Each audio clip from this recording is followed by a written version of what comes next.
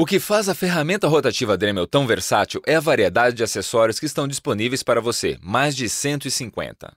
Isso é demais. Como é que eu vou colocá-los todos em ordem?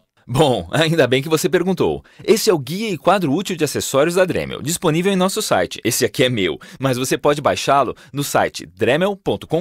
Hum, ainda me parece difícil. Não, não, não. Veja, tudo é codificado ah. por cor.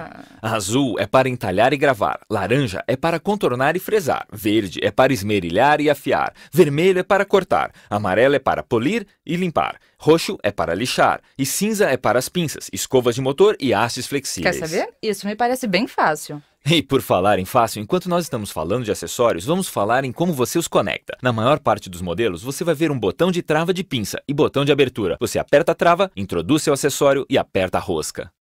Deixe-me tentar. Entendi. Então, algumas pontas precisam de pinças de tamanho diferentes, o que será claramente indicado na caixa. Mais uma vez, você aperta o botão de abrir, introduz a pinça e então introduz seu acessório e trave. E o que é esse sistema de hastes Speed Click?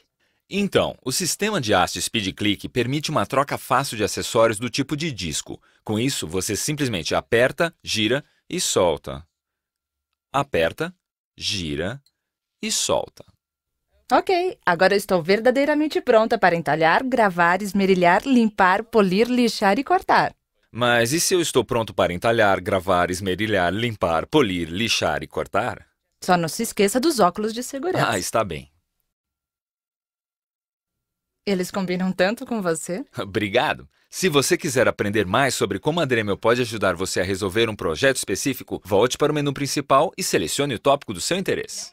E como sempre, não esqueça, visite nosso site www.dremel.com.br.